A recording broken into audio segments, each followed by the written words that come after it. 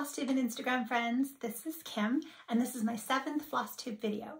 If you'd like to follow me on Instagram, I'm kgoldman63 on Instagram. So welcome, or welcome back.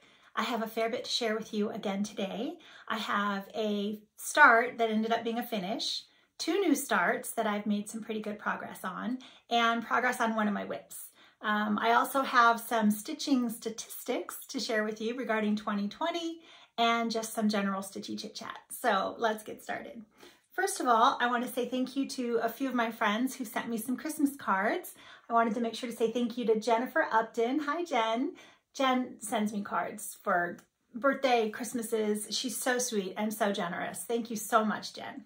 Um, then my friend on Instagram, Annette, hi Annette, you've heard me mention Annette a few times now, um, Annette California Stitcher on Instagram. And she's obviously a paper crafter as well as a beautiful cross stitcher.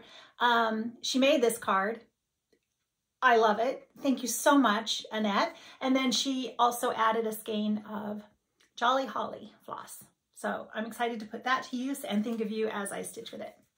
Um, so then I got a card from my new friend, Daleen. Daleen is at Sew Grateful, S-E-W. Hi, Daleen. And I believe this is Daleen's original artwork. I know she's um, dabbling in learning to paint as well as all of the other things that she she does crafty-wise or gardening, as I've mentioned, and baking. And, and she's just, she's delightful. So I love it. Thank you so much for thinking of me. Just so, so sweet of you.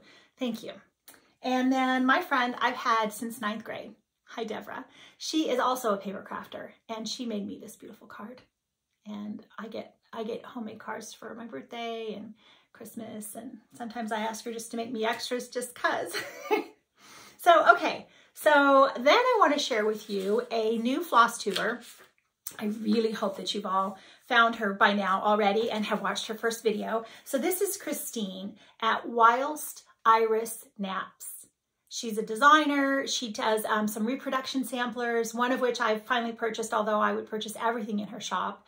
Um, her first video was just, it was lovely. It was wonderful. It, just please go and, and check her out if you haven't already.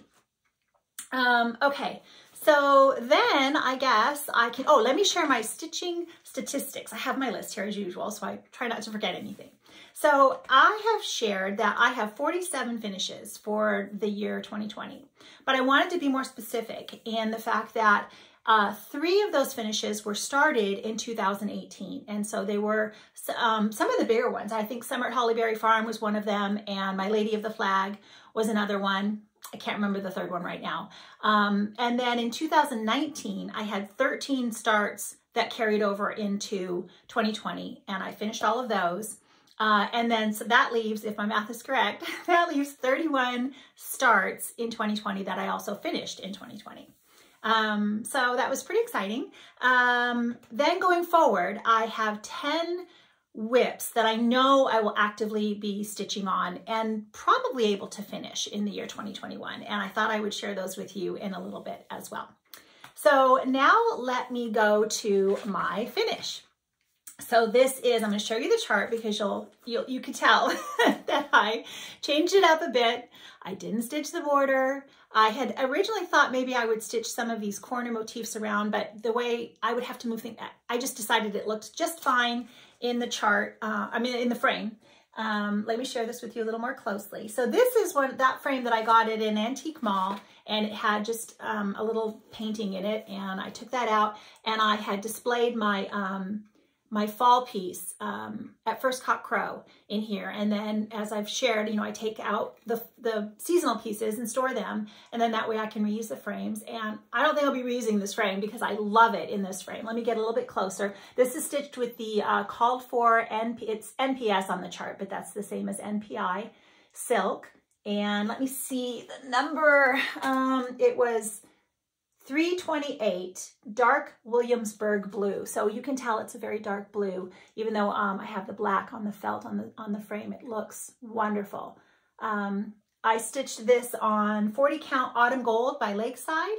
And, you know, I had to make a working copy, which I always make a working copy, but I really marked off as I stitched this, as I went along, because I was going to get lost. And, um, you know, what I noticed was I believe this is my first monochromatic piece where I didn't have to change colors, just one one floss color and it was surprising how quickly that went. Um, I really, really, really enjoyed stitching just with the one color and um, thoroughly, I think that only took me a couple of days to stitch. It was two or three days, but um, I love it. I'm so happy with it. So I was able to squeak in another finish and that was one I was inspired by. I, I think it was Laura, Brenda and the serial starter, Laura. Hi, Laura. Uh, I think that's where I first saw it, but it could have just been, as I mentioned, when I was, you know, browsing through Kitten Stitcher and um, and looking at things in her chart. I, I really liked, uh, Lila Studio did Anna Oman, and that was another one of the market releases that I almost have purchased many a time. And, uh, you know, if I stitch it, I, I will probably do the same thing. I will probably not stitch the entire piece, but, but maybe a portion of it.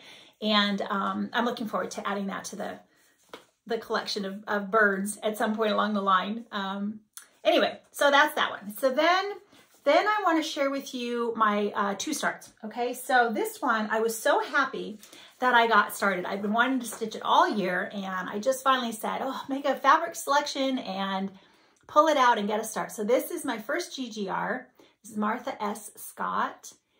I love everything about this everything about this. And, you know, they were mentioning, Brenda Laura were mentioning that the GGR charts are really, really easy to read. And they really are. I mean, as I said, I make a working copy and it is just ginormous. And I have to fold it. And uh, sometimes I cut off portions of the chart after I've stitched it just to make it a little less unwieldy. Um, but I'm stitching this on 46 count uh, Vintage Butter Pecan by Lakeside. And you can tell I'm very, very close on the margins because I only had a small piece of this fabric and I was really hoping to get another project out of the other, the top part of it. And um, so I'll be framing this very close. But isn't that beautiful? That house, that tiny, tiny, tiny house. It's so cute. Uh, I'm using, I'm pretty sure I'm using all the called for, um, is it, their silks. I can't remember if I'm using all the, or, or, or over dyes. Oh, I'll be more specific next time. I'm sorry, I didn't do a very good job of that. But this house, I had to, I really had to be careful because there were a lot of color changes in there. Not a lot, but you know, some. And I had more than one needle going at a time so I wouldn't get lost. I love this so much and I'm very excited to pull that back out again next year. Now, if you want to see this uh, already stitched and finished, and, and she just mentioned that she has it uh, framed. So hopefully she'll be posting on Instagram today with it fully framed. So this is my friend Jeannie. Hi, Jeannie. And uh, you can find her here on Instagram under, and if you check out this hashtag, it comes up in there as well. But uh, go to her actual page and she's got some beautiful things. So um, yeah, she had said uh, when I posted it, she commented something about how she saved the house for last because it, you know, she wanted to stitch everything else and save the, that best treat for the last. And I was like, I worked my way that thing first off. I was like, as soon as I could get up to that house, I was stitching that house. Uh, so that made me that made me chuckle. Also, you know, if you want to see Hester Van Dorn, um, please check out Tommy. Hi, Tommy. She um, has it finished in blue, and it's uh, like she put fabric around the outside, and it looks just terrific. So um, I know you can go and see a fully finished with the entire border, everything complete. Um, okay, so that was that. So then I had another start and I only just had this chart to share with you recently that I had purchased. So this is Rachel Long by Needle Made Designs. And I was so excited to start it. I, it's just, I love the color of the house, the pinks in that house, and, um, you know, all the flowers in the border. So I just, I was, I had fabric and I just had to start it, had to start it. And then I just couldn't put it away because I thoroughly enjoyed working on it. I posted when I very first began, I posted on Instagram and my friend Trisha, hi Trisha, uh, Preb409, I, she commented that she had had it kitted for a while and I said, oh, you know, I wondered about my fabric choice. So this is 40 count vintage Meadow Rue by Lakeside. And I said, I wonder if I chose a fabric that might be too modeled because of the fact that there is a bit of modeling in, you know, like the house and, and what have you. And she said, well, let me check and see what I kitted it up with. And she came back and said she'd kitted it up with the exact same fabric. So I was like, oh, yes, you know, that's a go. Uh, so again, I started uh, with the border at the bottom so that I could get the right placement. Started in the middle and stitched a bit of the, the vine part just around the edge and worked my way over so that I could get to the squirrel, something fun right away. And I stitched the squirrel and then I moved over to the house and stitched almost all of the house and, you know, started stitching. And I realized that all I had done was just the outside vine and none of, none of the flowers. I thought, oh, that's a rookie mistake, Kim. You need to be stitching that border as you go along because to leave that till the very end, that would not be a good idea. So I started making myself stitch some of the flowers. They're not um, hard. The, the nice thing about this border versus say like Smith Sampler is it's, um, I don't have to constantly refer to the chart for colors and such. It's, it's, there's only like four colors in each flower. So it's a little bit time consuming because you have to go around, you know, several times, but not hard. So uh, I was very proud of myself that I actually stitched four of the flowers and it's really not, I mean, that's as wide as it's going to be. There's no more, um, it just comes up from here and up from here. And uh, so I feel pretty confident that I'll be able to get that finished next year and I'll be super excited to get back to it. And I am stitching with, stitching with several of the silks on this. Um, I think I chose, so the, the gold and the house and the, um, the darker red here, and the green of the vine. Those are all, I picked the silks for all of those. And then I switched out, which is almost everything. I switched out, this is an NPI, and I switched that out for a Weeks Dye Works. I can't remember the name of it right now, but I stitched the squirrel and the roof in that. And then I chose another, um, hmm, Old Barn, Old Blue Paint, I think, for the flower. Um, and there really aren't that many more colors. So I just used the, um, the DMC for the cream. And uh, so super excited with that and how that's coming out.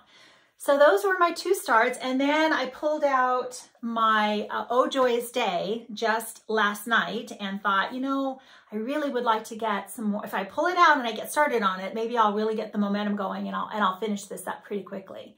Um, so I stitched, last night I stitched the flower here, almost, almost all of it. Obviously I left a bit there and I stitched, I started trying the satin stitch on the, uh, the border to see if I'm gonna like it, and I do. It's not hard, so that went well. Stitched a few more strands of it this morning.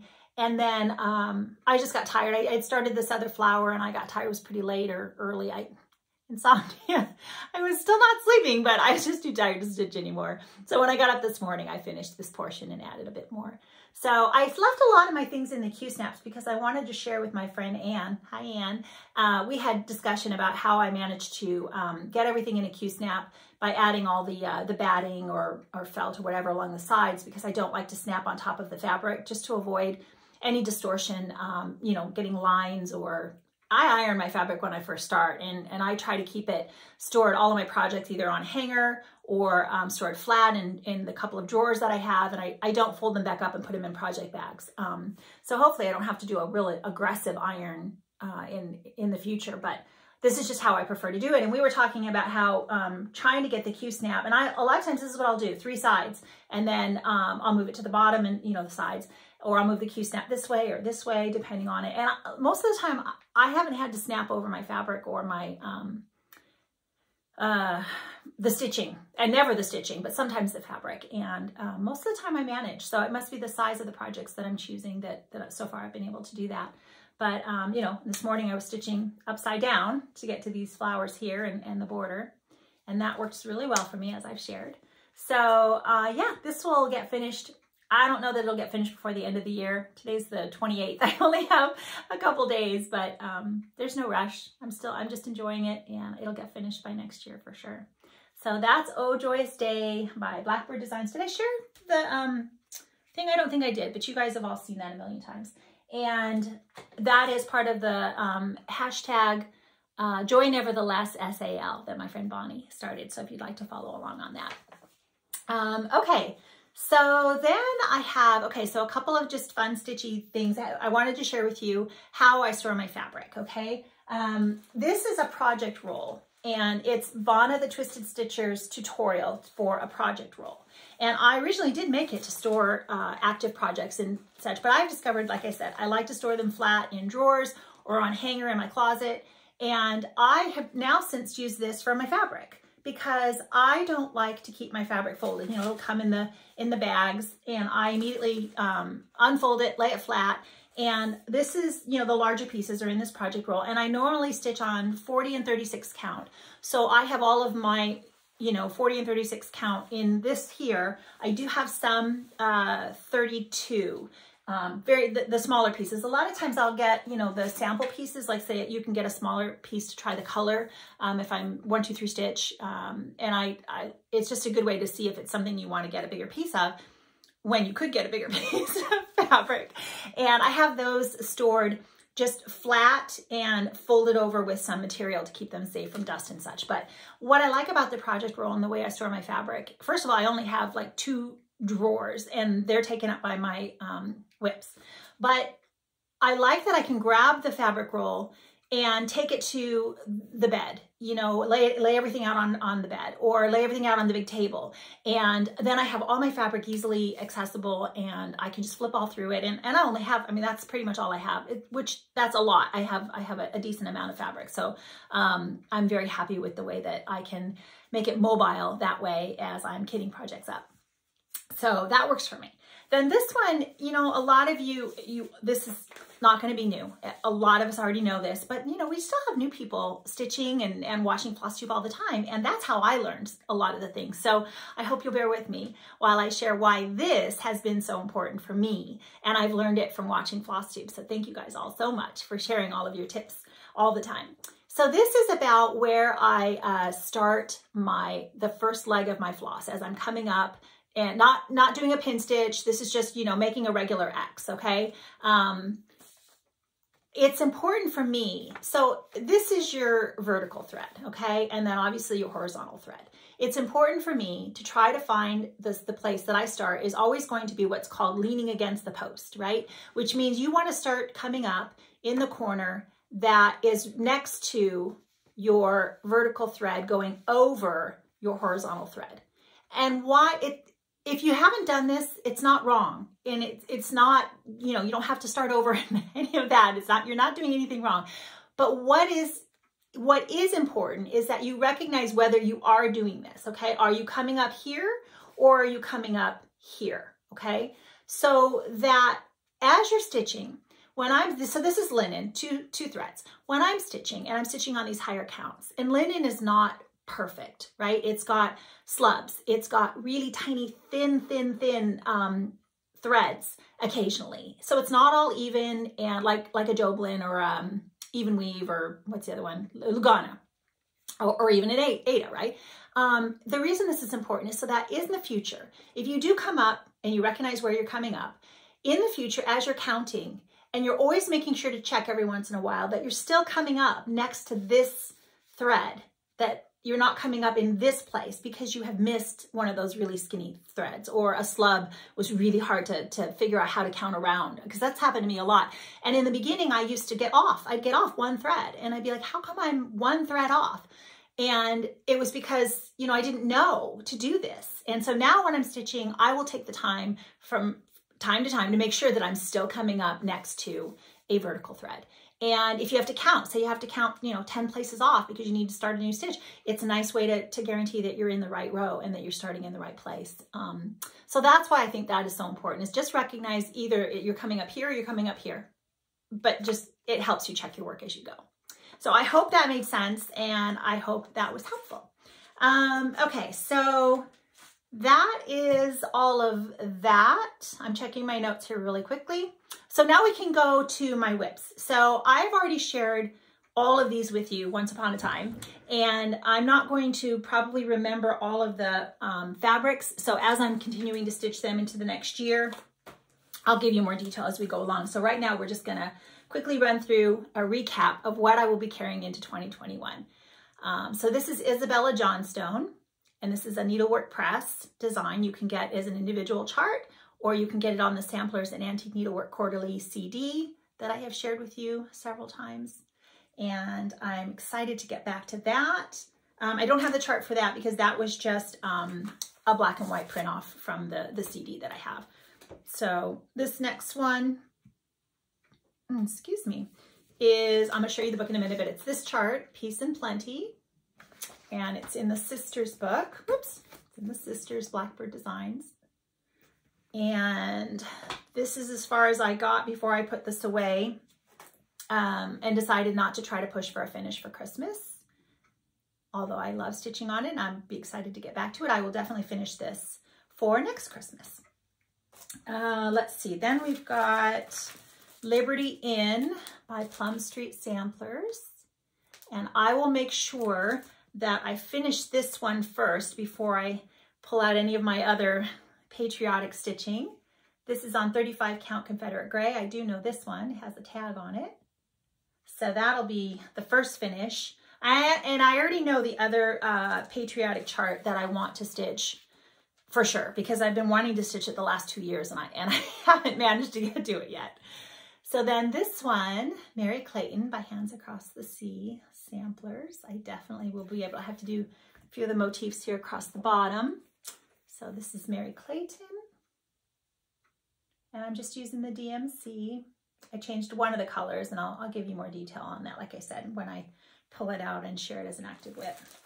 Then this one, the Blackberry Rabbit, the Visitor. Super excited to get back to this one. And for sure, you know, in the in the spring, I'll be pulling this out to uh, to so I can have it done for the summer for sure, or the spring. Um, anyway, forget all the the threads here everywhere, but loving that one so much.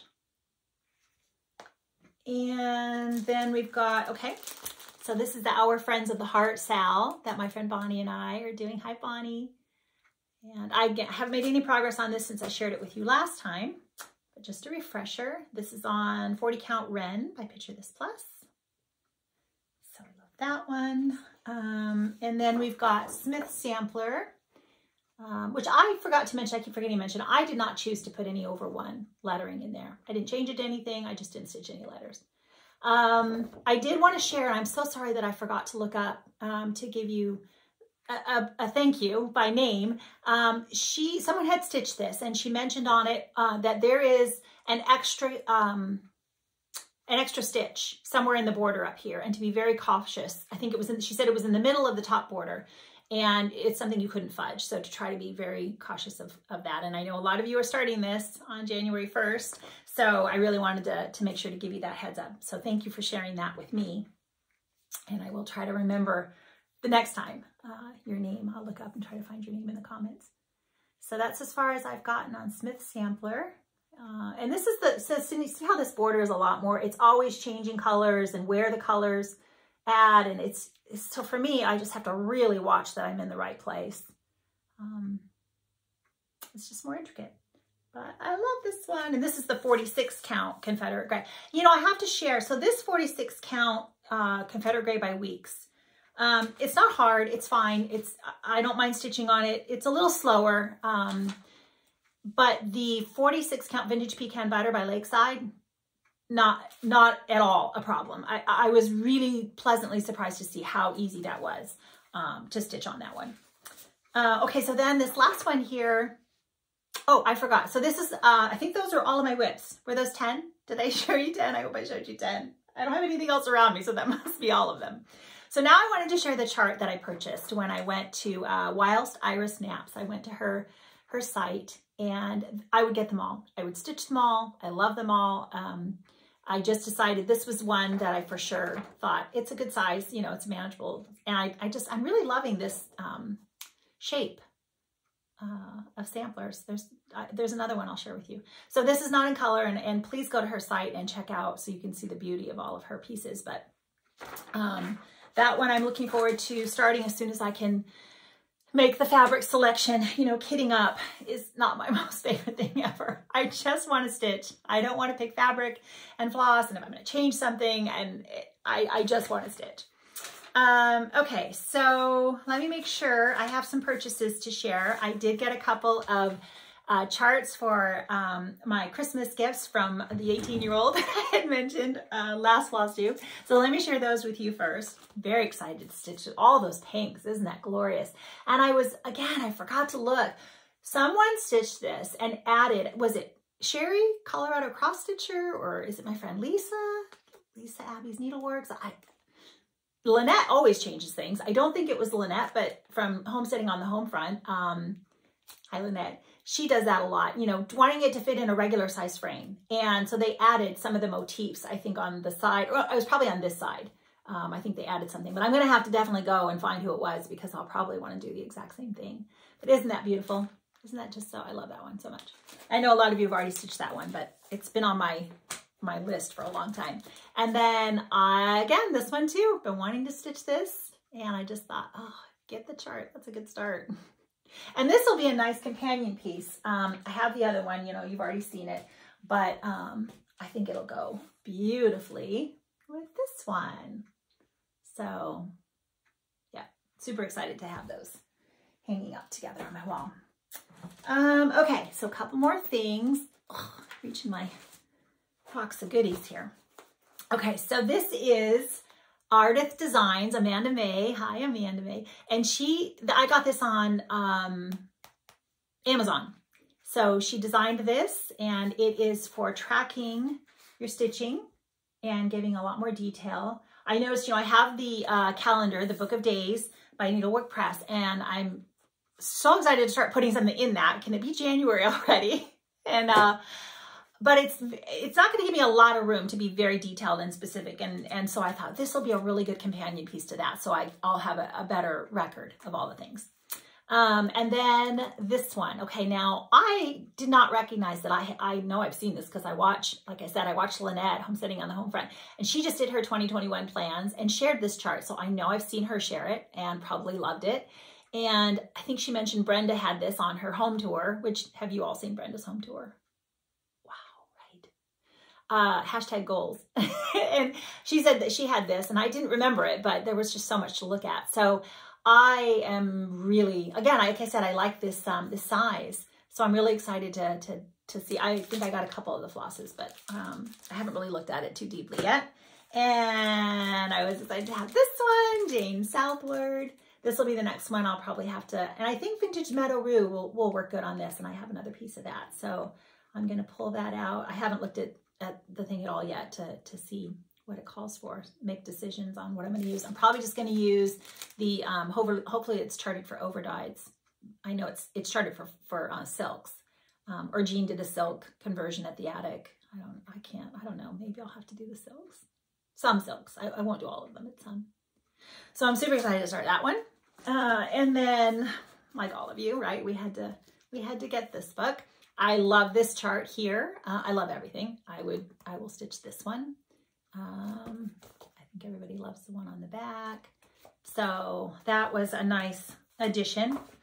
Okay, how have I not, now we've moved into things I would potentially like to stitch in 2021. And how have I not stitched anything out of this book? I would stitch everything in this book and I haven't started a single thing. So my friend Devin, hi Devin, uh, Hoops and Needles on um, FlossTube and uh, Devin FL on Instagram. So she posted that through the year, the coming year, she's going to stitch one of these every month, I think is her plan. And I thought, oh gosh, I really hope I can get on board with at least a couple of, of those um, and get some stitching out of that book this next year because it's, how am I not? Uh, this one, I haven't stitched anything out. Oh, no, wait. This is the one I did stitch one out of this. I stitched this one um, out of this one. I can't, I don't think you can see it in the thing. Uh, I'm dying to stitch this one for Christmas this year. And this one. Oh my gosh. Everything in here. Just so, so beautiful. And one more. Oh, so now this one came to mind again. So I'm rewatching. I've already rewatched all of Brenda and Laura. So now I'm rewatching Carol Saltbox Stitcher. Hi, Carol. And, you know, she started doing videos a couple of years ago. And the very first video, if you haven't seen Carol in a while, go back and watch her very first video because she does a, a bit of a home tour where she shows all of her beautiful samplers all over the walls. And oh my gosh. And I remembered as I, as I'm, I think I'm on episode eight or something now. And I kept thinking, oh, that's right. That's why I stitched that one. That's why I stitched that one. I just, all the inspiration. And it was so much fun to go back and and remember all of the things that uh, I have stitched because she shared them. And she was sharing this one. She just finished it on the episode I just watched. And this has been one, I, you know, everybody's, Brenda stitched this. And, and I thought Flora, I think, stitched it. And uh, it's been on the list. And I, you just, I just can't get to, I just can't get to them all. But I really want to. Okay, so there's more down there, but I think that is everything. It's good for now anyway. Um, I had a couple, just a little recap of 2020 and um, just a few things to share about 2020. So uh, it was another year of FlossTube and Instagram, you know, making new friends, uh, connecting even more with ones that I have made prior and just getting inspired, um, hopefully inspiring you. Uh, it's just been wonderful. Thank you, all of you, for, for all of that. Um, I started my own FlossTube channel, so that's been fun. I turned 57 and I decided to embrace the gray, just can't keep up. I'm done trying. So we'll see how that goes. Uh, I was retired for a full year in April. Um, so that was, yeah, so I very much enjoyed retirement. And I celebrated my four year wedding anniversary to my best friend. Um, he's a wonderful um, father and husband and spiritual leader of our home. Uh, thank you, sweetie. I love you. And um, then the last one, um, you know, like a lot of us, uh, I experienced some loss. And um, my my dear friend and my sister in Christ, Kimberly, has gone home to be with the Lord. And I just get incredible comfort knowing that I will see her again. Um, so that is all that I have to share with you about my stitching and uh, my plans going forward. Um, I, I have a couple of scriptures to share with you, and as always, I hope you'll stay. But if you're just here for the stitching, I hope to see you again in a couple of weeks, and I just want to wish you all a very happy new year. So um, for those of you who are still with me, I did a search for the word new as it comes up in the Bible, and I found these two scriptures to share with you today, um, although there's many more. But um, this first one is a memory verse for me, and I'm sure for a number of you. So I will be sharing the New King James Version, and if you uh, if you know this, I, I hope that you'll say it along with me. So this is going to be Second Corinthians 5, 17. Therefore, if anyone is in Christ, he is a new creation. All things have passed away. Behold, all things have become new. Um, this is a verse that we share with people that have come up and done a um, like an altar call and they've come up and accepted Jesus as their Lord and Savior and we ask them just to give us a few minutes of their time and we want to give them a Bible, we want to pray with them, we want to encourage them and and we share this verse with them. Um, the other one, so just one more, uh, Lamentations 3, 22, 23. Um, through the Lord's mercies we are not consumed, because his compassions fail not. They are new every morning. Great is your faithfulness. And it made me think that, you know, I don't make New Year's resolutions, and I don't know what 2021 is going to look like or what it will bring. Um, but what I do know is that God is on the throne and I know that he is in control and I know that he is faithful. I thank you again, friends, just for another, um, like I said, just being with me for this and, and sharing, um, staying to share the scriptures with me and being such an encouragement. And I wish you all a very happy new year.